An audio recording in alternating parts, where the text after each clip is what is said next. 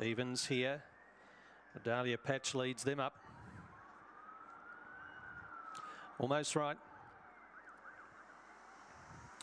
Green light here for the eighth.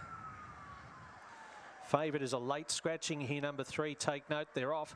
And away fast, dance mode leads up. Slow today, Medalia Patch whipping around them. Pandora's Raptor early stages leads first turn. Dance mode shuffled right back into the lap of Bora Burst. Mighty Hercules put them out of the race. And Pandora's Raptor led Dr. Yanis to second off its back. Buddha Dream waits for an inside run. Then Medalia Patch as they swing. Dr. Yanis after Pandora's Raptor and Buddha Dream's getting the run the inside. They hit it. Buddha Dream.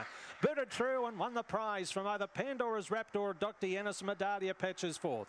A gap away in the race then to dance mode. Well back in it was Mighty Hercules and Bora Burst in 26.07. For the winner, Buddha Dream for Aaron Gringas gets up in the nick of time to win.